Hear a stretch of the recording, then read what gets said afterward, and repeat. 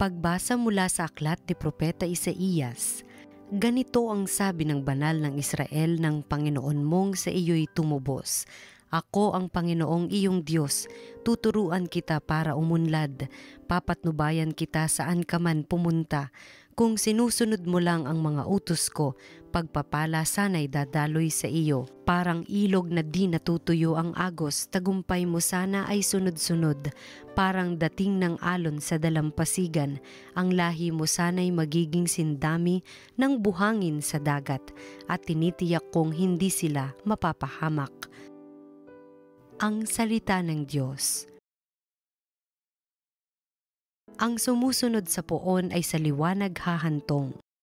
Mapalad ang taong hindi naaakit niyong masasama upang sundan niya ang kanilang payot maling halimbawa. Hindi sumasama sa sinumang taong ang laging adhikay, pagtawanan lamang at hamak-hamakin ang Diyos na dakila.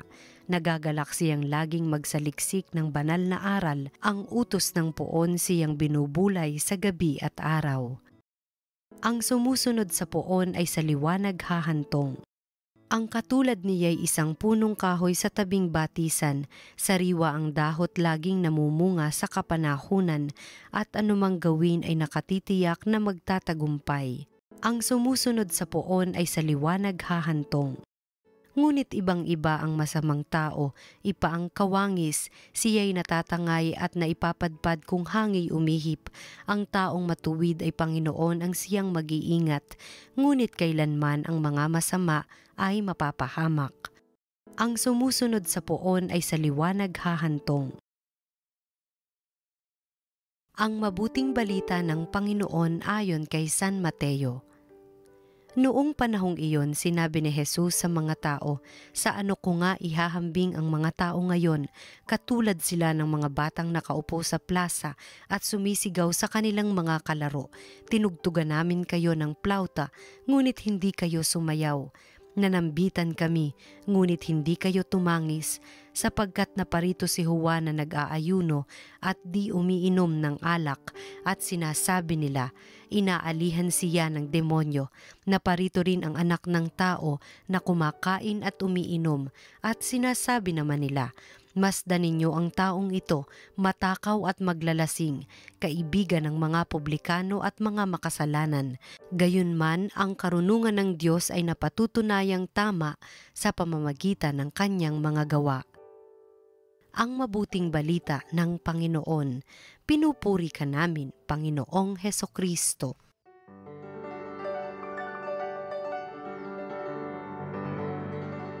Nakaranas na ba kayo ng pagkatapos ng uh, isang failure ng isang bagay, parang may pagsisisi, tapos sinabi nyo, sana ganito yung ginawa ko.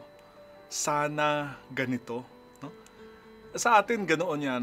Pero nakikita ko sa mga pagbasa, parang ganon din ang Diyos eh. Sana ganito. Pero ang pagkakaiba natin ay, sa atin, nasa huli ang pagsisisi, pero sa Panginoon, isang panawagan parati, sana ganito ang ginagawa mo at may oras pa tayo. Yung buong sanlibutan may oras pa para gawin kung ano yung nais niya. Sana ganito yung ginagawa mo. Kung hindi ganyan ang ginagawa mo, maraming mga pagdurusa ang mararanasan mo.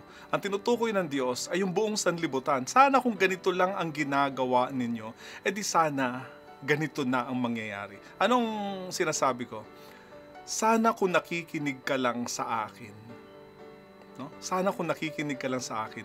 Naku, parang naririnig ko tuloy yung mga tinig ng mga magulang. Kung nakikinig ka lang sana sa akin, hindi magkakaganyan yan.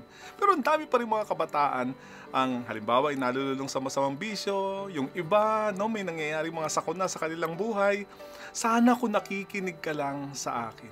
Kailan tayo huling nakinig sa Diyos? O kailan tayo huling nakinig sa simbahan? Kailan natin sinabing mas matalino tayo kaysa sa simbahan? Kailan natin sinabing ang mga turo na yan ay luma na? Naku, kung ganyan yan, babalik din tayo sa ating mga kamalian. Pasko ay darating. So si Kristo ay darating. Kung alam lang sana natin, hindi nakilala natin ang tunay na Pasko ngayon. Kung nakatuon yung buhay natin kay Kristo. Kaya bigyan natin ng pansin ang Panginoon. Yung pangalawang sana, kung sinusunod mo lang yung pinag-uutos ko. No? Kung sinusunod mo lang yung pinag-uutos ko, hindi ka papasok sa ganyang napakaraming gulo. Alam niyo, yung pagsunod sa kalooban ng Diyos ay isang napakagandang tema. Bakit? Kasi hindi lang ito basta gumagawa ka ng mabuti, umiiwas ka sa masama, pagkatapos magpupumili tayo umakyat ng langit, pero wala naman tayong ginawa na galing sa utos ng Diyos. Yung utos ng Diyos ay nangangailangan ng discernment, pagbubulay-bulay, pagdinilay-nilay araw-araw kung yung ginagawa nating desisyon ay naaayon sa kanyang gusto. Meron siyang sinasabing mga utos. Ito yung natutunan natin sa Ten Commandments. Pero pagkatapos ng Ten Commandments, ang tinig ng Diyos ay buhay. Pumapasok ito sa bawat aspeto ng buhay natin. Halimbawa, ang pinakasimple na lamang ay, ano bang bibilhin ko sa palengke? Ngayon, kung hindi tayo conscious, edi bibili lang tayo ng napakaraming matataas ang kolesterol, bali wala na lang yan. Pero kung nagmamahal kasi tayo, bibili natin yung isda at gulay. Kasi may elemento ng tunay na pag-ibig at saka yung pag-ibig sa kalusugan ng tao. Parang ganun din. Marami tayong kinoconfront ng mga desisyon araw-araw. Mananatili ba ako sa trabahong ito? Lilipat ba ako sa kabila? No? Pupunta ba ako ng ibang bansa? Mananatili ba ako dito? Anong oras ba ako gigising? Na lahat ng yan ay nangangailangan ng isang uri ng pagiging sensitibo sa Diyos na minsan ay sinasabi niya sa atin, ito, lumiko ka ng kaliwa, lumiko ka ng kanan, makinig ka sa akin at sundin mo ang sinasabi ko. Mga kapatid, itong dalawang ito, no, ay nangangailangan na mahigpit na pagkakakilala natin sa Diyos at yung araw-araw na sinusunod natin ang kanyang kalooban. Kaya ang paglalakbay na ito ay paglalakbay parati patungo sa Diyos at patungo sa kapupunan ng buhay, sanhi ng sasabihin ng Panginoon, ito tulungan mo siya. Tulungan mo silang lahat. Araw-araw ginagawa yan ng Diyos sa atin kung susunod lang tayo sa Kanya at makikinig tayo parati sa Kanya. Kaya mga kapatid, magdasal tayo, itong darating na Pasko ay makita natin yung tunay na kahulugan nito sa pamamagitan ng pagsunod at pagkakakilala natin sa ating Panginoon.